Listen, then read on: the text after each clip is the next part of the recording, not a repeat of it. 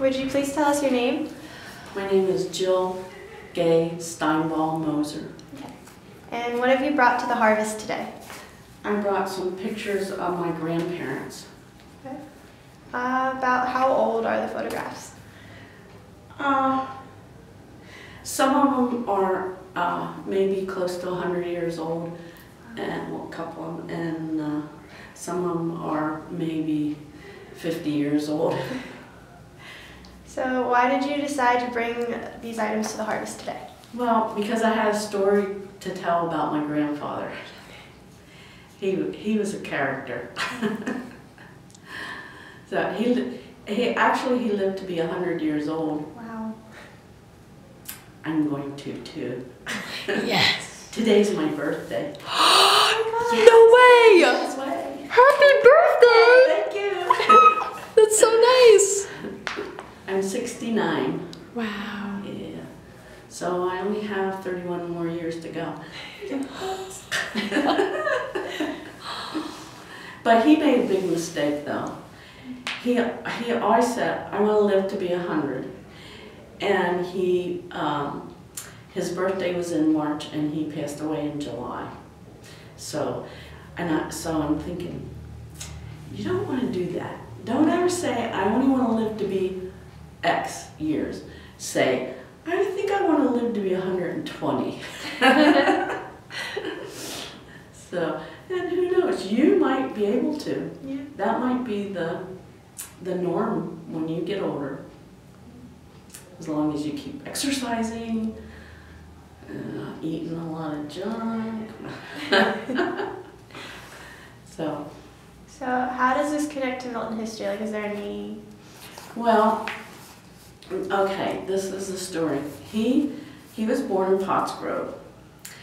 And uh, he, I, I'm thinking, I'm not 100% clear on all the minute details, but I think he said, because he told me this story, and he said that he had, um, that he worked at a garage out there.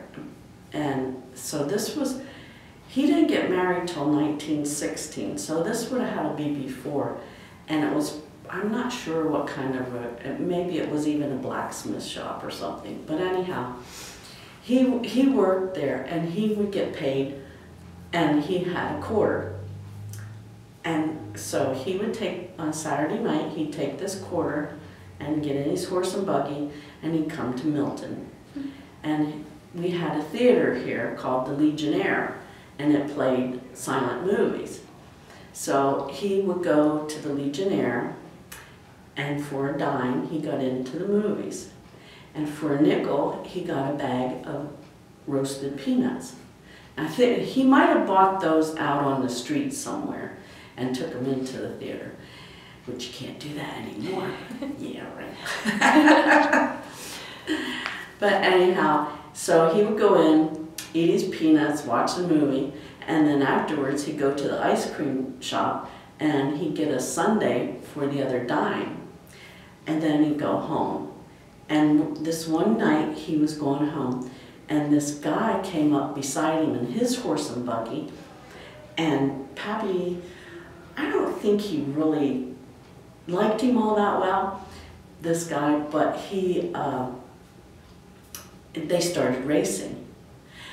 And they're going down the road racing, and Pappy got a little bit ahead of his horse, and he stuck his buggy whip out in front of the horse's nose, and the horse wouldn't go past the buggy whip, so Pappy rode all the way home. and He won.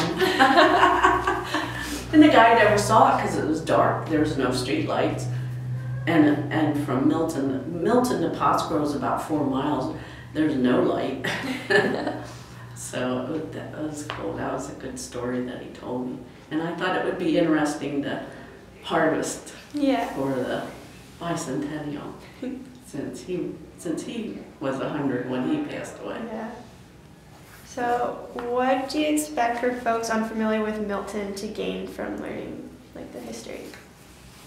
Ah, folks that aren't familiar, that it is a, uh, this old, it's an old town and there's generations of people that, uh, lived in Milton and stayed in Milton.